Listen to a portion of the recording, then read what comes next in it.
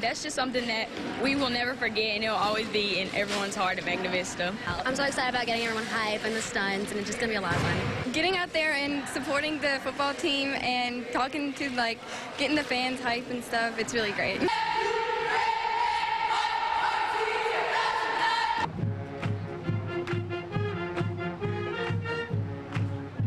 We're going to play All I Do Is Win. It's by DJ Khaled.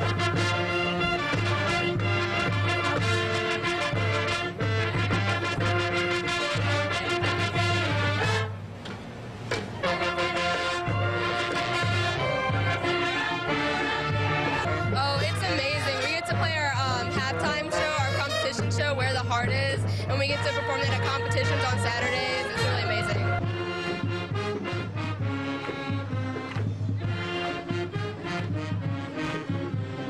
Yeah, it's real fun to get the crowd, the cheerleaders, the football team hype. You know, then we come back in the stands and we dance with the band. We have the privilege of singing and dancing for our community, so it's real fun here. At Magna Vista, where the volleyball team is here cheering on the football team ahead of tonight's game.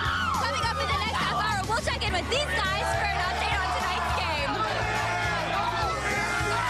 Can you believe the turnout here at Magna Vista this morning? It is huge. We have community members here, we have the band here, we have the cheerleaders here. It has been an awesome turnout, but the reason everybody is here, of course, is for the football team. Kids been practicing hard. Uh, you know, folks make sure we get better every week. Well, it's great to have the experience. It was fun while it lasted.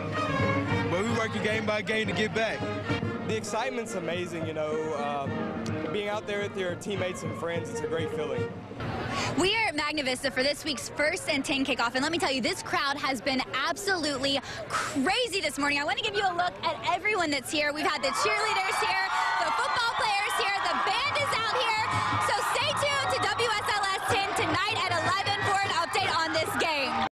as you can see, we had an opportunity to have our community members here with us, and we're extremely, extremely excited that they were here to support us. But they also do that on Friday night.